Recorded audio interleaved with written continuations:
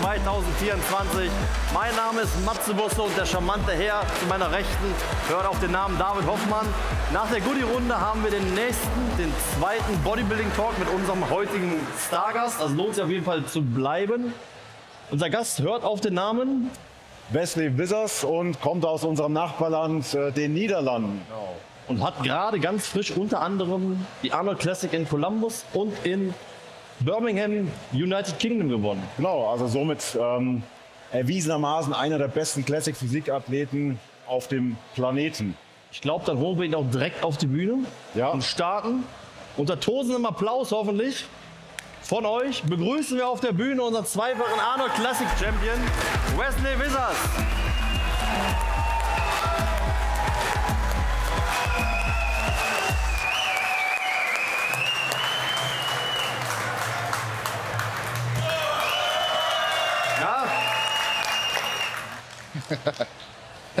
Welcome. What's up?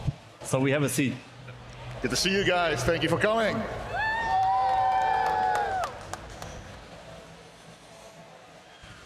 All right. So first of all, Wesley, before we start talking about the Arnold Classic, the upcoming Olympia, do you remember your first FIBO in Germany? Yes, I did. I was 17 years old, which is already 13 years ago right now. And uh, I've been going here for uh, yeah 13 years now. But today, well, actually yesterday was the first time I actually saw the city. Really? Yeah, I've Never been- before. No, never before. We just drove straight to the expo, only saw the inside of the expo, but never actually visited the city itself. So did some sightseeing, so it was nice. But also incredible to see how incredibly busy it is right now. So it's an amazing experience. And you came as a competitor already, or you were just like a visitor and having fun in the gym? Always a visitor. Pretty much always a visitor. Only, yeah, this year is the only time I've really come here as a, as not just a visitor, but also someone on stage right now. Wesley, the last time I saw you a few weeks ago in Birmingham after uh, winning a show, and uh, today you look so much bigger. Tell us about the last few weeks and about your weight. How much weight did you gain after the competition? But you All still look great. But Yeah. so I've never seen you this big. Yeah, so of course, now that we won the Arnold Classic twice, we have something more to prove. There's one more competition left, which is the Mr. Olympia. That's right. Actually, it's only one more title left for you now. Yes, it still sounds and feels unbelievable to me that I've made such a big jump. But uh, it's the truth, it's the reality. Only the Olympia title is left for me to win as the top title in the world to be achieved.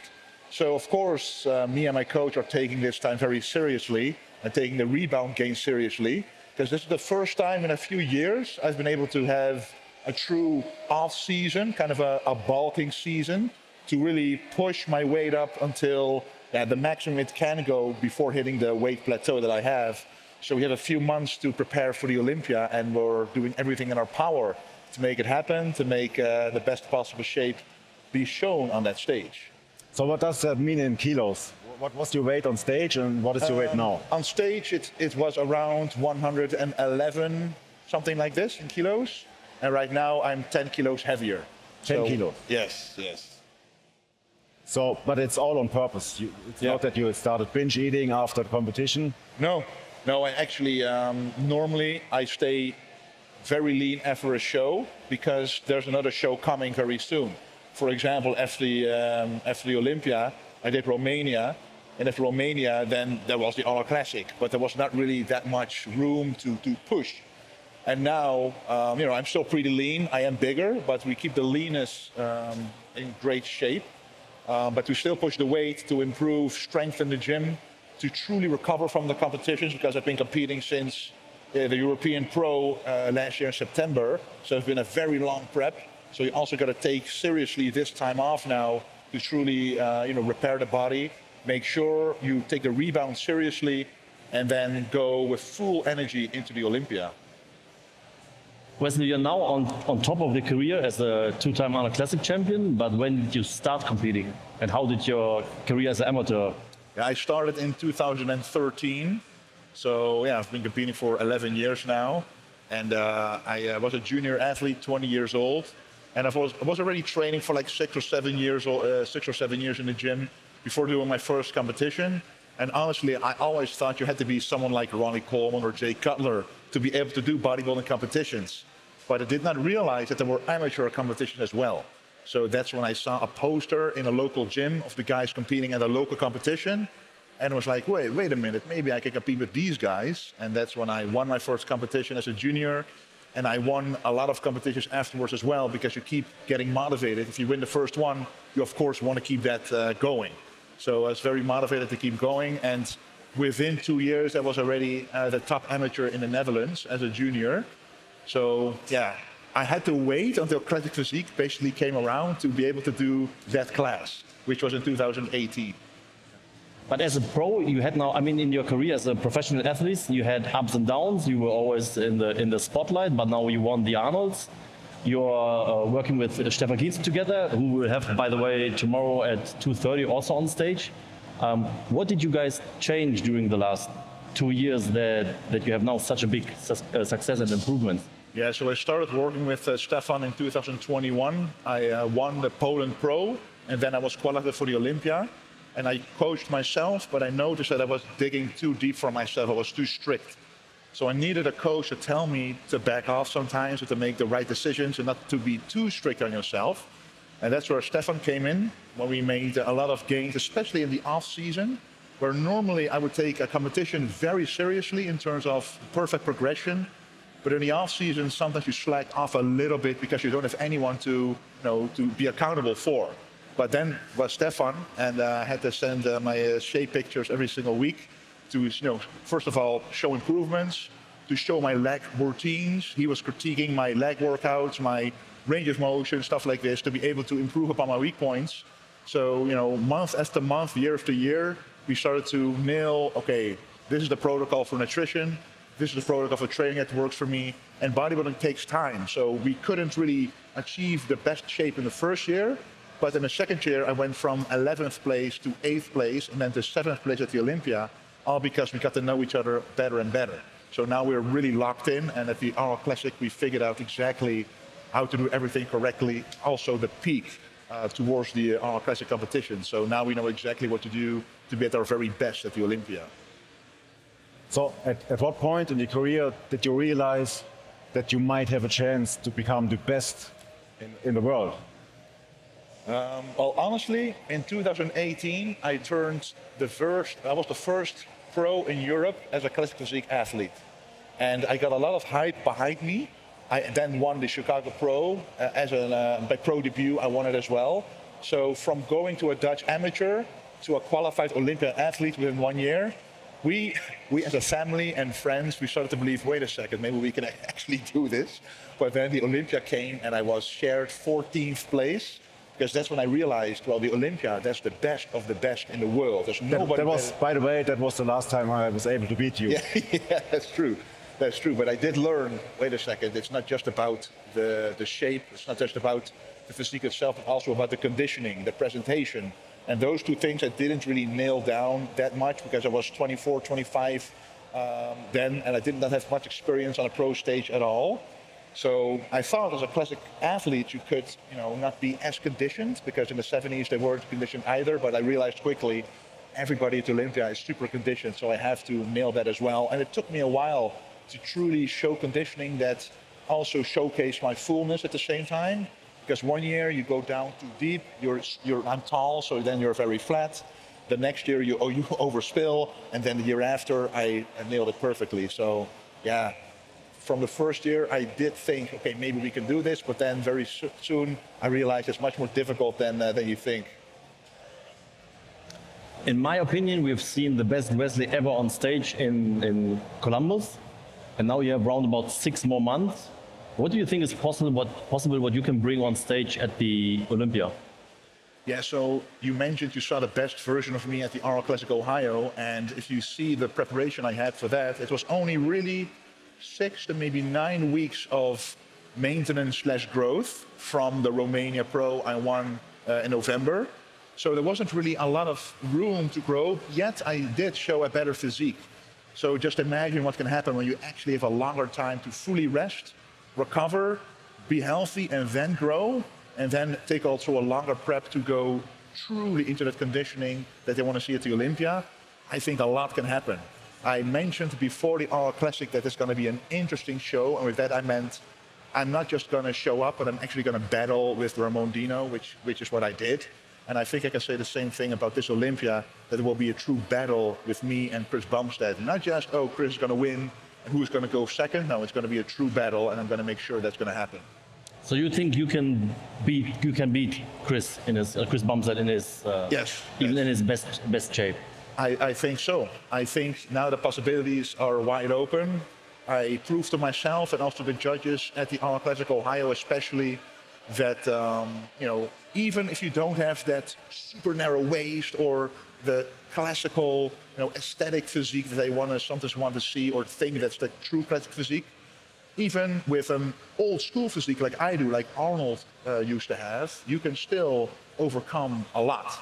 Because right now, um, you know, if you look at the scores, I beat the number two in the world. So that means that even with a physique like myself, you can do a lot more than people might initially think. And I'm going to improve upon what I showed at the Arnold Classic Ohio. You know, fill in the weak points, be even more conditioned, polish the presentation even more. And I think then that's going to be very hard uh, for even a Chris Bumstead to, uh, to challenge that. So you've got to go into the competition believing that you will be the victor. How did your life change after winning those uh, important titles? Yeah, it's uh, well. First of all, it was a childhood dream to meet Arnold Schwarzenegger himself. So I've now met him twice on stage and multiple times around as well. But twice he gave me compliments about my physique, about my posing. So that gives you so much boost towards you know the title that everybody wants, the Olympia title.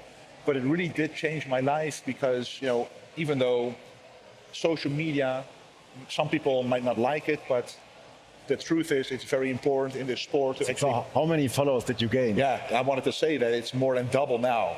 Double? So it took me like six or seven years to build up to a certain point, and then it took me two weeks to double that. So that just goes to show how incredible that boost was that the Arnold Classic gave me. And uh, yeah, there was, especially, I live in the Netherlands. So in the Netherlands, bodybuilding isn't a super big sport, but even still, a lot of local media called me up, like newspapers, like TV shows, uh, radio stations. They all wanted me to do interviews and to show what bodybuilding is about. Of course, Arnold helped a little bit, you know, having an Arnold title. But still, uh, it changed my life because a lot of people in the Netherlands now, even though they are not a bodybuilding fan, they still know who I am. So it's, it's a truly uh, life-changing event, and uh, this might just be the start. Did you say you're now the number one bodybuilder from the Netherlands? Like there's William and uh, there, there, used to be um, Berry de Mey back yes. in the 80s. Yeah. But who else? Berry de Mey. He always said uh, I hope you do as, as, good as you can at the Olympia, except not higher than number three, because he holds the record at the Olympia number uh, being number three. Um, but I do intend to beat that for sure.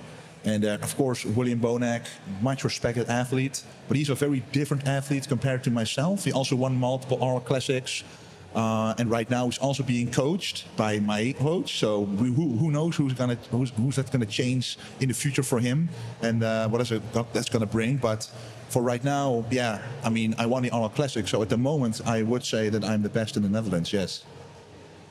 Well, would you say that also the people in the Netherlands, it's easier to for, for the mainstream people to understand classic physique compared to open bodybuilding? Yes, because um, I often have to explain like uh, the differences between the open class and classic physique, but only because they think, oh, uh, do you want to even be bigger, or is it nor- is it healthy to be even bigger than this? And I'm like, well, classic physique has actually been created with a weight cap to protect the physiques from getting too big, aka not being as aesthetic, because you know, arguably, especially a few years ago, the bigger you got, the less aesthetic your physique might also grow to be. So classic physique protects that with a weight cap.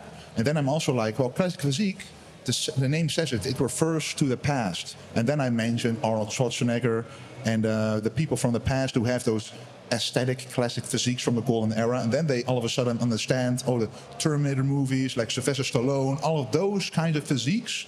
That's more like classic physique.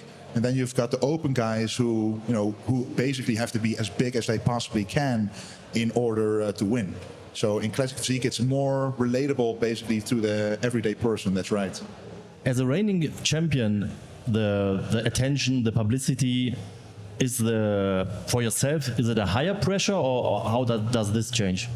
Um, no, it's, it's not a higher pressure. I've um, the, the nice thing is I've been doing this for so many years, and so many people have always believed in me, even when I didn't win.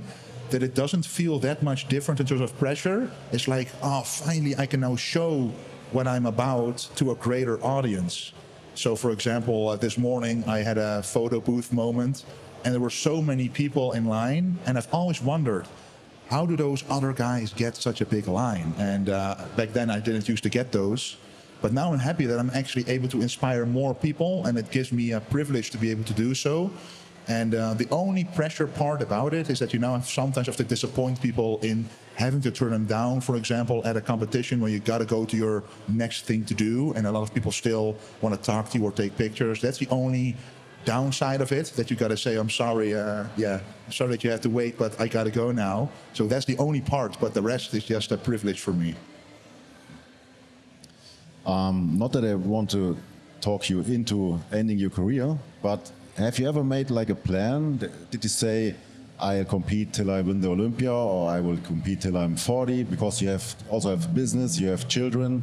So is there a plan? You want to go into acting maybe? You have a great accent, great voice. Yes, I might want to go into voice acting for sure, but uh, you know, in terms of age, I was always thinking about 35, but with uh, the caveat that if I don't achieve what I have set to achieve by the time I turn 35, then I might not do professional bodybuilding anymore because, you know, if you're 35 and you've already been doing shows for 15 years by then, I mean, are you really going to change something by then? And of course, thinking about your children, thinking about your health as well. But winning the Arnold Classic has changed a lot, of course. It opens a lot of new doors. And um, I think the Olympia is a true possibility now. And of course, winning it once is always an incredible dream. But then there's a question do you just win it once or multiple times in a row? So it really depends on what's going to happen and how healthy you remain. But I, I feel great, I feel healthy. I'm able to truly make a great living out of this, I provide for my children and my family. So it's, it's just a great blessing to be able to do this. And uh, I think there's still many more years ahead for sure. I feel great, so that's not going to be an issue. Do you already have a plan for the time after the Olympia this year? For example, if you will win the Olympia, would you still go on and compete, for example, in Prague at the EVLS show or anything like that?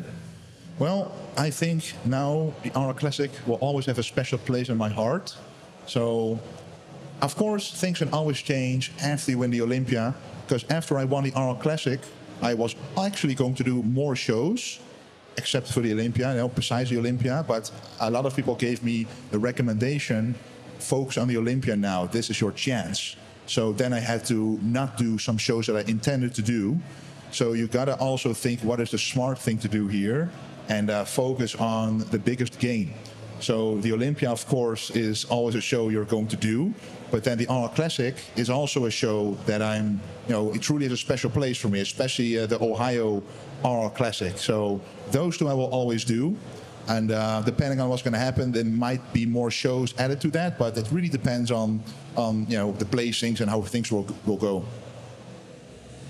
I mean, you have does Dexter, your son, does he understand what happened when Daddy was away in uh, America and in Birmingham, and when you came back, like, hey, I'm the Arnold Classic champion? no, he's just he's just three and a half years old, and he doesn't understand what's happening. He really grew up with us going to Las Vegas and Orlando for the Olympia. He actually went uh, last year with us as well. So he, he, he, knows what it's like to go to America and to be in such a big uh, audience and actually see myself compete on stage. But he has grown up with it, so he doesn't realize it's something special. It's just no, normal for him. So, uh, but when he's a bit older, we're going to start bringing our children with us again. Because for now, you know, they're too young to understand it anyway, and the big, the long flights aren't really, you know, the most relaxing thing on the prep. But when they're a few years older, I'm going to take them, and then they will truly understand what it means, uh, you know, to be part of this uh, great journey. Let's talk about training a little. We have a young audience here. Most of them are young, as far as I can see. So, what would you say concerning your career? What uh, were the biggest mistakes you made in the beginning, and what's your training philosophy now?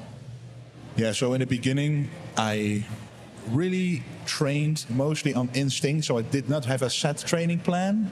I just went into the gym, and of course, the first one and a half years, I didn't train legs, which was a big mistake. But you know, when you're young, you don't have the uh, aspiration to become a bodybuilder anyway. You just train for fun. And after a while, you notice, wait a second, uh, the upper body is growing, and I thought my legs were big, but they're not big at all in comparison to the upper body. So obviously, not training every muscle group was a mistake I made. And then after that, I did a lot of high volume training, everything to failure, drop sets, supersets. You know, the Arnold uh, workouts like chest and back supersets. I did everything I could because when you're like 17, 18, you're indestructible. So no matter what you do, you can always recover from it. But it's not the best for growth ultimately. Um, because when I started training with the progressive overload method, like logging the lifts, making sure that you get stronger week by week, or at least improve upon the previous lifts, that's when I truly made the most gains, especially in the legs. Because when I trained by instinct, the upper body grew quite well, because you know that was the problem. But if you then see some muscle groups in your body that are not growing as quick, you got to change something up.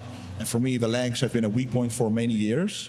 So once I uh, implemented that progressive overload way of training, so every week you try to go one rep more or just five kilos more, and eventually, if you get stronger, your muscles have to grow as well. So that's what happened, you know, since 2019, and now finally it's starting to show the true effect of it by, uh, yeah, by winning the incredible Arnold.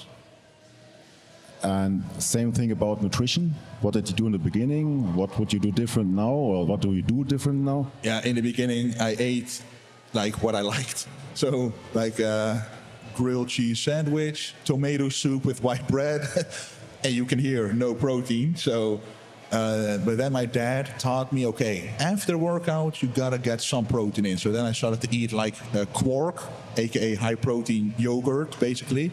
But that's the only protein addition that I made. But I still made gains.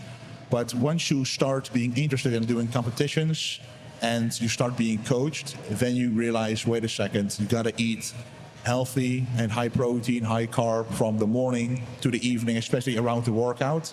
So my nutrition really changed a lot when I turned 19, 20, when I started to become serious. And then YouTube and social media started to pick up as well, showing what the bodybuilders actually ate. And that's the only time I realized, wait a second, uh, they actually eat a lot more chicken and fish than I eat right now.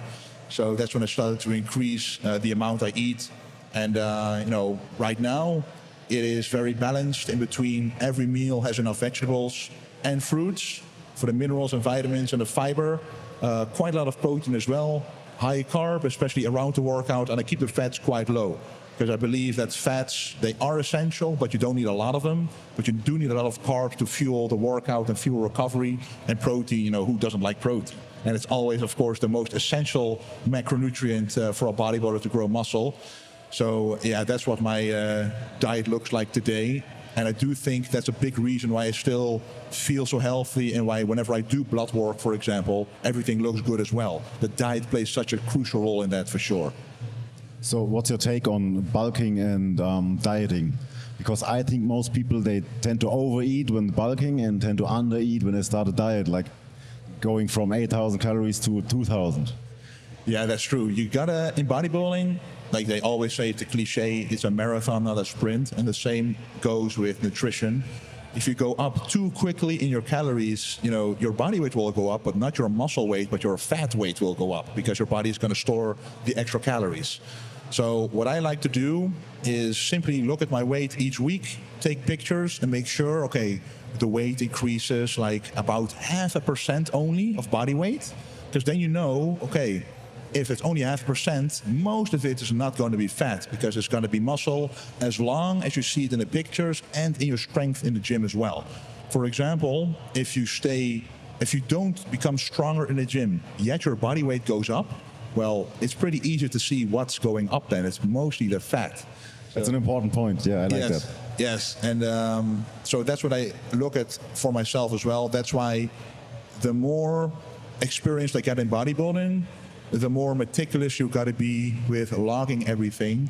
Like you got to know, okay, I did a bench press 10 times 150 kilos uh, le- uh, previous week. But if you see for the last five weeks, it's been the same rep range and the same weight, but your weight has increased. You got to look at your recovery or the amount of calories you eat, or change up the macronutrients a little bit. So, you know, uh, taking pictures and logging things and looking at yourself. Okay, do I want to eat this because it's delicious, or am I eating this because it's serving a purpose of building muscle? And uh, when you're at this level, that's truly what you got to look at. And what are your favorite uh, supplements, or which supplements would you recommend, especially like when you're on a maybe on a low budget? Yeah, so on a low budget, actually, I like, of course, designer whey for the whey drip. Why on a low budget? Because um, if you look at per 100 grams of protein, designer whey or whey protein in general is cheaper than any protein you can buy in a supermarket. And of course, when you're a beginner as well, uh, it's sometimes hard to take in enough protein, especially when you go to school or you go to work and you're not able to always eat those Tupperware containers with chicken or fish or beef, for example. Sometimes you take sandwiches with you, but then you can have a shake as well to still meet your protein requirements. And I also think like some essential uh, nutrients and uh, minerals and vitamins like vitamin D3 and K2. Vitamin D is simply something that a lot of people, especially in Europe, don't get enough of, especially Netherlands, Germany, the UK. We don't get a lot of sun throughout the year. You look like you get enough sun. yeah, I gotta keep up this golden color, of course. I mean, it gave me good luck for the competition, and I'm gonna keep this up for the uh, Olympia. And I gotta show up like this for sure. Um, but in terms of other supplements, of course, creatine, one of the cheapest supplements out there, but at the same time, one of the most proven to work supplements as well. You literally gain quality weight when you take it, water inside the muscle, providing strength, explosiveness, fullness inside the muscle cell. Yes, it's water weight, but not outside. So it's quality weight, part of the muscle, essentially. And um, yeah, I mean, for a beginner, you really don't need a lot. I mean, those few essentials would be enough. If your budget is a bit more, maybe something like omega 3 to truly ensure you get those essential fatty acids in every single day as part of your uh, diet regimen. Um, yeah, but other than that, I mean, stuff like pre-workouts or intra-workouts, those are all luxury items that don't add as much essential value to the progress as like a protein source or essential vitamins and minerals, in my opinion. So now again, back to the upcoming Mr. Olympia, leading to, to the next Mr. Olympia. What are you going to change, or would you say you just keep doing what you are doing now and what, what uh, made, the, made it possible to win the Arnold Classic? Yeah, so the most boring answer I always give why I look different at the Arnold Classic is I simply kept going for longer. And a lot of athletes, they are afraid to lose muscle mass when they keep doing the cardio, eating no carbs, and keep training hard. But this goes back to the logging part. If you if your strength stays as high as the beginning of the prep, you know objectively you're not losing muscle. So mentally you know, okay, nothing's wrong. Yes, I feel hungry. Yes, I don't feel energized. But in the gym, if you can consider perform, your muscle is still there to uphold that tissue. And the only thing I'm gonna do for the Olympia is we're gonna see, okay, so many weeks out, I gotta be at a certain weight so that I will be on time with losing weight before the Olympia, and I want to be at the same weight as for the Arnold, but then two weeks earlier again, just like what I did for the Arnold Classic competitions. So I always see in my physique, okay, if I see those details, then I know I'm on track. But now I saw them in my glutes, which I've never seen before. So now that's going to be the next landmark, and then I'm going to go beyond that as well, while keeping, of course, um, no, I worked on the weak points, the legs. I'm going to keep, keep working on those. So the legs will be improved, the glutes will be improved, the hamstrings will be improved. But then with an even better conditioning uh, as the Olympia, I, I, mean, as the Arnold Classic. And um, yeah, the presentation will also be a lot better. So uh, it really is going to be an exciting show. So, so what exactly do you need to do to beat Chris Bumstead? Well, what I need to do to beat Chris Bumstead is show my strengths because I have strengths, he has strengths, and we both have weaknesses as well. So I have to overpower his weaknesses with my strengths, and my weaknesses have to look less weak against his strengths. so basically, uh, I work on the legs. I think from the front, I can really battle with him already. And from the side, like from the side chest, is going to be a deeper hamstring drop, uh, bigger glutes basically, also from the back. The glutes are a big thing, even though it sounds strange in classic physique to work on the glutes. But nowadays they are shown, they're part of the physique, they need to show development. So the more conditioned I get, the bigger the muscles look, but they will also literally be bigger because I have been working on them and keep working on them until the prep starts. So what I need to do to beat him is simply, you know, excel in my strengths even more, and in certain poses be undeniable, and yeah, basically improve my presentation by so much, be super confident that I simply know I'm here to win this competition. That's what I'm going to do. Did, did you talk to Chris or did he talk to you after winning the Arnolds? Yes, he said actually after prejudging at the Arnold Classic Ohio, he came to me backstage and he said, "Whatever you did, keep doing this because you looked incredible on stage." And, but, but, but then we didn't know I was going to win even. Um, and I also spoke to him um, a few days later. Uh, we actually had dinner with a you know big amount of athletes and people, and it was nice uh, talking to him just outside of bodybuilding also, just to get to know him as a person. He's a very nice guy as well. So of course I wish him all the best. Also we talked to him a little bit about his upcoming uh, daughter being born, which is going to be an exciting time, of course, and, and maybe also a difficult time during prep. But uh, I, I, know it because I have two children myself. Um, yeah, but um, we haven't really. The only thing we also talked regarding bodybuilding is I told him, well, I, I was going to plan on doing some multiple shows and before the Olympia, and he told me, as a friend I'm telling you not to do them, but as a competitor, please do all the shows you can because then you show up less good at the Olympia, of course. But uh, he's just a nice guy overall, in my opinion. But we did have a very nice Olympia battle, of course. Uh, me, Urs, Ramon, and, and Chris uh, in Arizona, which was great. But um, yeah, just very exciting to battle against him at the Olympia. What was going through your head when you were in Columbus and stage with Ramon and you heard your name, you were winning, and then Arnold came on stage, he talked to you, you did the interview. What was going through your head? Yeah, I mean, it's just a, such a big feeling of disbelief when you're standing there because honestly, I was like, okay, I at the prejudging, I knew I could be at least second because I was standing next to Ramon. But at the finals, you're standing there next to him, you're looking at Bob, the announcer, and you're like, uh, of course, they're not, not gonna say my name as number one.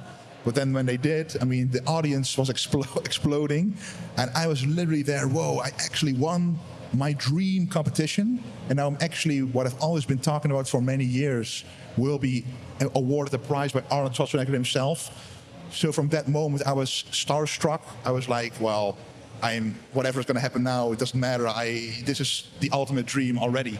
And then Arnold came on stage. He gave me the award. He actually gave me some compliments. I mean, that was honestly that was the greatest bodybuilding moment in my life so far. I can say that. So it's just been incredible, and the aftermath also just so grateful for everything that has happened. And I'm really motivated to show you know, my true best that I can be at the Olympia now because the potential is there.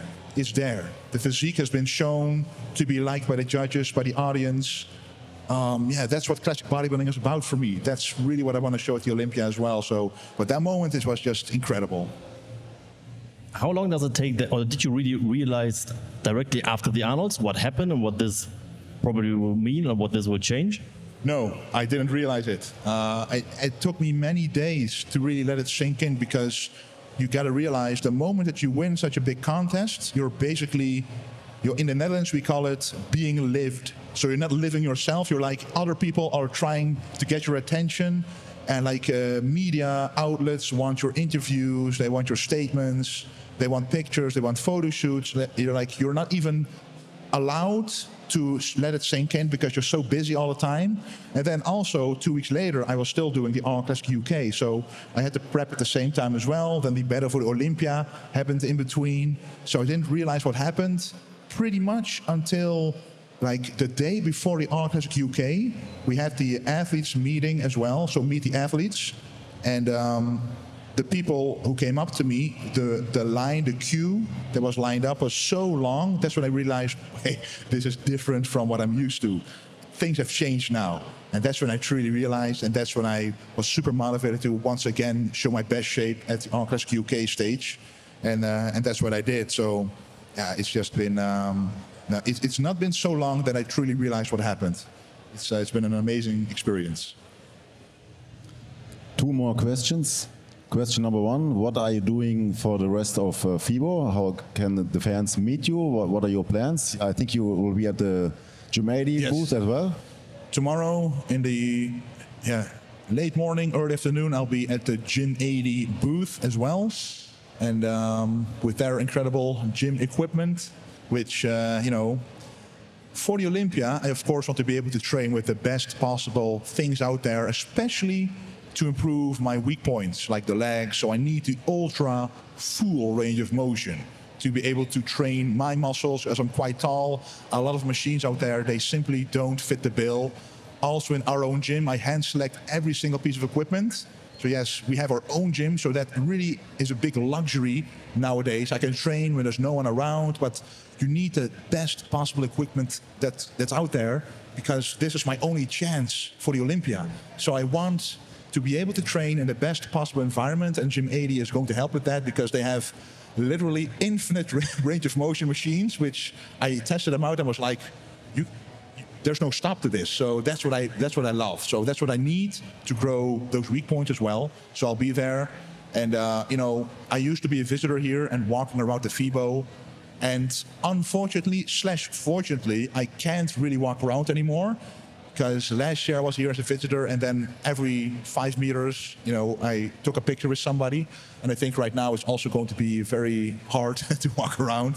But I will be, I will be still in the city. I'll be here tomorrow, and maybe also uh, at the ESN uh, in the ESN hall as well. You, you will have an um, appointment at the photo booth as well. The ESN. I was I was there. Uh, I, I this think the morning. people can check the times uh, where they can find you, probably on your Instagram account, But, uh, on the one more ESN question. Instagram on my account. stories. I'll make sure to put We everything really- there. One more where I'll be. question. Are you going to take a shirt off for you and for, for us and for the audience? Well, Möchte das jemand sehen? Ein Wesley Wizards ein paar Wochen guys, Zeit should nach, should I dem, do it or what? nach der Arnold Classic mit ein bisschen Musik, All right. mit ein paar schönen, feinen ESN-Goodies und Geschenken. Arnold Classic Champion, Leute, ein bisschen mehr Action brauchen wir da schon. Da müsste sonst noch Columbus für.